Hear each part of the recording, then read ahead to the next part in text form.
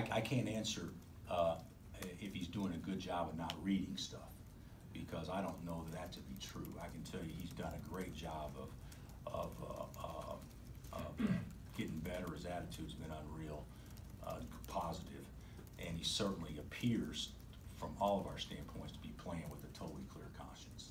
So, so, uh, uh, which I think is positive too. So, you know, I know, I know that he's been the center of, a- of a lot of things, uh, that's been said, and, um, uh, we understand that. But, but I, I do think that he's been, he's been, uh, very positive, uh, in how he's, how he's handled this, uh, and it's probably made him grow up and mature quite a bit, to be honest. And you just take the approach you're gonna have them until you hear otherwise, if, if. Yeah, I hope we don't hear otherwise. Right.